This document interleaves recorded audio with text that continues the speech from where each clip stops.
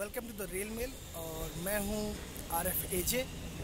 दोस्तों, कल एक घटना हुई है फिर से ट्रेन 18 पे, जो कि बहुत ही निंदनीय है। टुंडला के पास फिर से ट्रेन 18 पे पथराव हुए, जिसके कारण उसके शीशे टूट गए। आखिर ऐसा क्यों हो रहा है?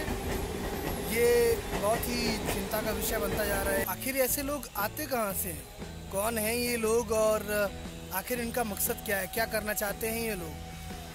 और कल काफ़ी डैमेज भी पहुँचा है ट्रेन 18 को। आगे का जो नोज़ का पोर्शन है, जो आगे का हिस्सा है, वो काफ़ी टेढ़ा हो गया है।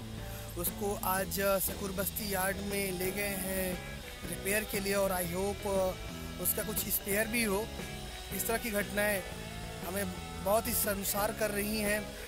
इस वीडियो के माध्यम से मैं ऐसे सारे लोगों से गुजारिश करना चाहता हूँ कि कृपया ऐसा ना करें वो ऐसा करके ना ही अपना नाम खराब करते हैं, बल्कि पूरे देश को शर्मसार करने वाली ये घटनाएँ करते हैं। तो कृपया ऐसा ना करें और जो लोग ऐसा करते हुए देखे जाते हैं, उनको कड़ी से कड़ी सज़ा तो होनी ही चाहिए। और मेरी मांग है कि अगर आप लोग ऐसा होते हुए देखते हैं तो उसको रोकें।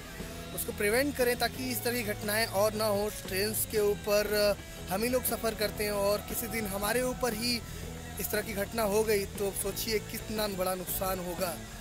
तो मैं यही आशा करता हूँ कि आप लोग इस चीज़ का ध्यान रखेंगे। जय हिंद।